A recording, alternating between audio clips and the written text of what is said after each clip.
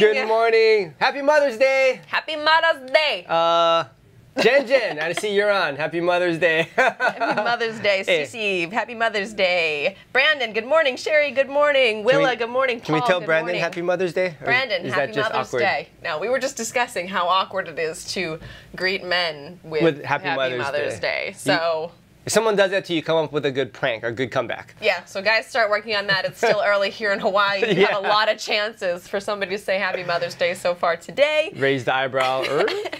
Uh, yeah, so start working on your comeback. But my happy Mother's Day was for all the mothers out there. yes. And a reminder to everybody who has a mother who isn't a mother to appreciate their mother. I called mine yesterday just to be sure because I'm so bad at the day of. Oh, You're ahead of the Yes. game. I highly doubt she's watching, but just in case I'm wrong, Happy Mother's Day, Mom. I guarantee you All my mother is not watching, but I love you too, Mom. There you go. There you Right, go. well, welcome. If you guys just happen to be tuning in because you're not sure what time church starts, I'm not Waxer.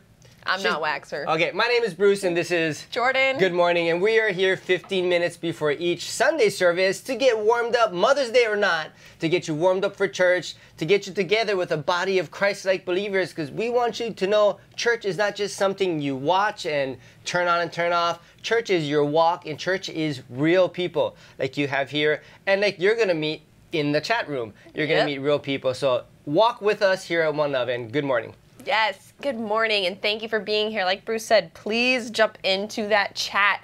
Whether you are with us on Facebook, on Mm-hmm. our own live stream, or on YouTube, we can see what you type in any of those places, and we would love to interact with you this morning. So go ahead and get your fingers ready. Spelling is optional. You know, it's all right. Yes, yes.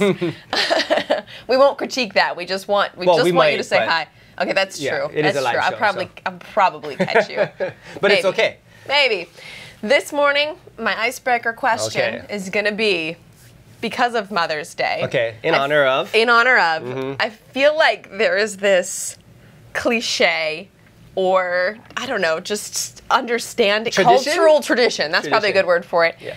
That on Mother's Day, mom gets breakfast in bed. Right. I would like to debate this tradition.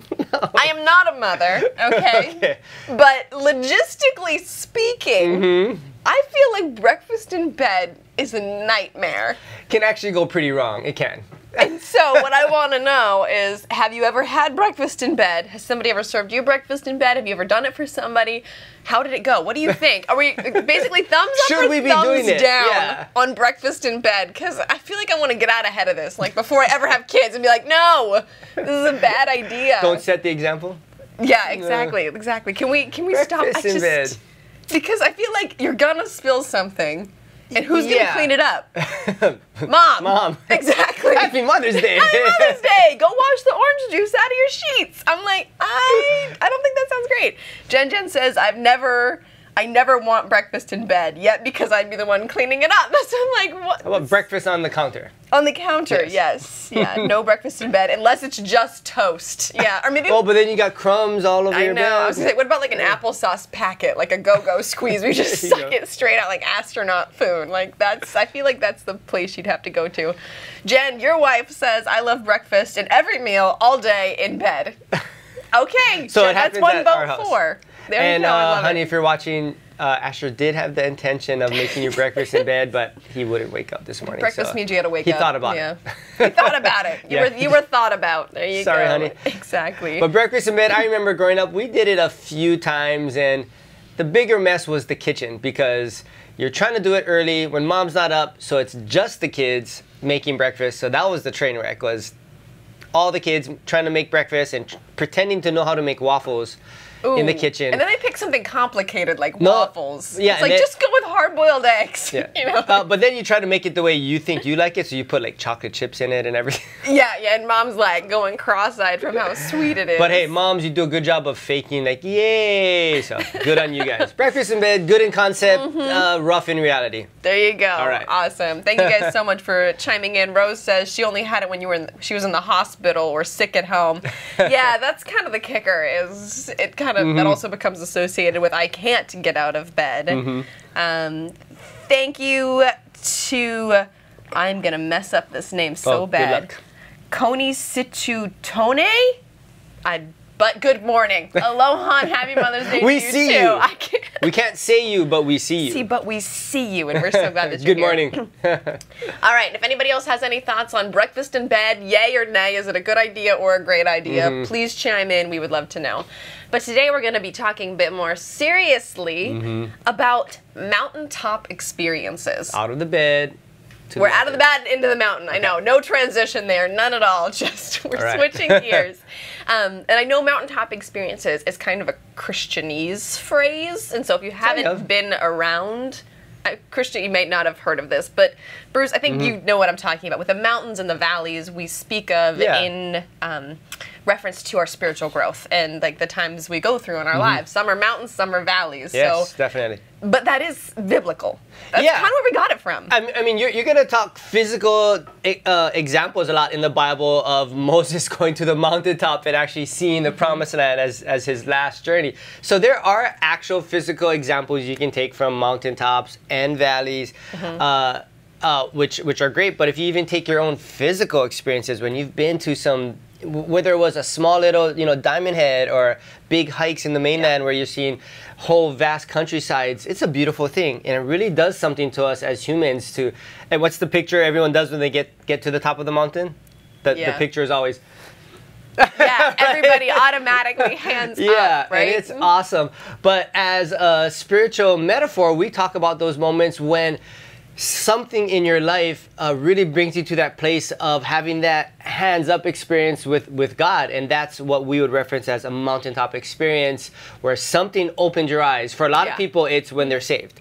Yeah. Uh, God just revealed Himself or His Son to him, and you gave your life to Him. And for a lot of people, that's one of the early, if not the highest mountaintop experience where you realized the God of the universe did create everything here. He created you and He loves you and He wants you for Himself. That in itself can be a mountain, mountaintop experience.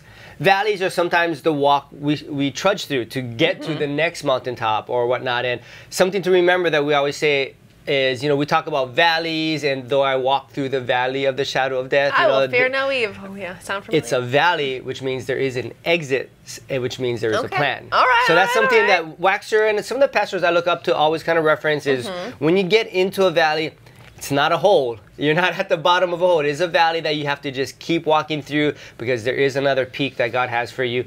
How high, how far away? I don't know. That's for Him and you to know. But uh, there is a mountaintop waiting for you, and uh, it's exciting. Yes, that's so cool. Yeah. Thank you for explaining that. I appreciate it. And so, what I want to know from you guys today is have you had a mountaintop experience? Mm-hmm. And what does that look like in your life? So, for some people, a mountaintop experience is literally a mountain. Yeah, exactly. Okay, shout out to Haleakala. Oh, my Oh, goodness scored it? gracious. Yes. White awe. I got So- it raining, so I, I didn't really get to see Really? it. So I've been up there once raining, Okay. and then I Mhm. went back, and actually I couldn't get in at sunrise, so I went at night, and watching the star rise. Oh my gosh. Nuts, and that was almost even better than what I An had. actual mountaintop experience, Haleakala. Literally, like Yes. you'd see that many stars, and you're you're just absolutely Oh. awestruck. You're like, and God is real. God is definitely real. Like That that wasn't an explosion. Well, maybe it was, but a different kind of explosion. Yes, Yes. yes, And then so it can be that, or it can be the spiritual high. Mm-hmm. And so I think of that is um, in the situation of camps, Christian camps. I feel like this For a happened lot of people, yes. So I was a I was a camp kid. I was a Mm-hmm. camp counselor for a lot of years. um, but that was one of the biggest things that we would even look out for because, like you said, there's Oh, okay. transitions between Yeah. Mm-hmm. the mountaintop and then the valley. Like they they are because they coexist. It is a journey. Your life is a journey, and you have to walk with it. Yeah. and yeah, so many spiritual highs. These kids would get saved at camp. Mm-hmm. They'd be on this mountaintop experience. They had this amazing week, Mm-hmm. right? And they're like all gung ho for Jesus. Mm-hmm. But like the minute you get back home, you start throwing those starts. clothes in the, the the washer, and you go kind of go back to regular Mm-hmm. life. It's not even so much, but yeah, you start coming down off Mm-hmm. the mountain. And then being there to walk with them Mm-hmm. and say, it's okay. All of Christian faith is not always a mountaintop Yeah. because that's all you know up until that point. Yeah. like, why don't I still feel amazing? you have to walk that through with them about that it's not always going to be that way, but it doesn't change what you've experienced or what you know as truth. Yes, exactly. So what I want to know from you guys is have you had a mountaintop experience of any of these kind and what was that like? So go. Yeah. ahead and let me know in the chat Type it in there. there. I can give you my short version, and uh, it's it's no big secret. Um, I share it with our next step group. Uh, we like to use the quote, uh, "When did God become real to you?" Mm-hmm. Uh, for a lot of us, that is an experience when you realize there's oh there when you learn that there is a God. That's kind of in the book, but then there's when God became real. Yeah. And for a lot of us, and for me, my um, my experience there of learning when God was real was when I was at Diamond Head, so a much smaller mountain than, and I, I was at the lookout. Still a good mountain. Yeah, I, I was at the lookout. I wasn't even on the top. um, but that was I was, without getting into the whole backstory, I was whining over something which I shouldn't have. But I was whining, you know, we whine. As we're wont to do. As a valley, yeah. valley, yep. and begging for an answer. Why, why, why?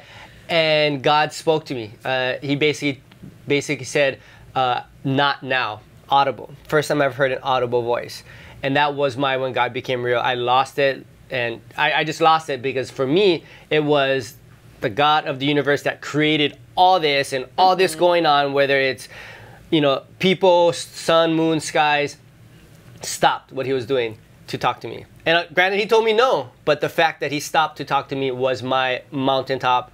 And uh, I still like to uh, remind myself about that and share it with people to, to this day. Uh, that that is when God became real to me and my mountaintop experience. That's Yeah. crazy. So share with us. What is yours? You can give it a short version, maybe just you know chat in there uh, the day or something that um, you want to share with us. But it's great to bring that out and uh, encourage other people with that. Yes, absolutely. Thank you so much. Um, I'm going to loop back really quick. Good morning, Ken. We're so glad that you're Yeah, with us. Really quickly, back to my very important um, breakfast in bed question yay or nay. Uh, Jacqueline says, I love breakfast in bed, but with kids, it's not as much fun. And then the cringy face. Oh, yeah, exactly. And then It used to be fun. Now not so. Troy says I had breakfast in bed like Rose when I was in the hospital as well. Yep, there you go. Kind of takes the fun. out- Not what was I thinking, Soup. but that's a different side to that. Okay, and then back to mountaintop experiences. Um, Jen says one of my peak moments is when I was leading worship, looked into the crowd, and s- saw her son worshiping. There you go. Oh, you can't even sing after that. I know you're just straight, Off the straight mic. tears, right? Right. And then Charlie very glibly says, "The valley analogy is deep, figuratively and literally." Gotcha. Thanks, Charlie. You funny. You funny. Thanks But for backing good, me up there. good morning, Janelle, and good morning, Giselle. We are so glad that you're here. And Ken Yeah, is guys. joining us Good from morning. Germany. Good morning from Germany. Um, Good evening. Good evening, good morning. Well, it's good morning here, so you're getting a good You're morning. getting a good morning. I don't do math in the morning, so that's what you get.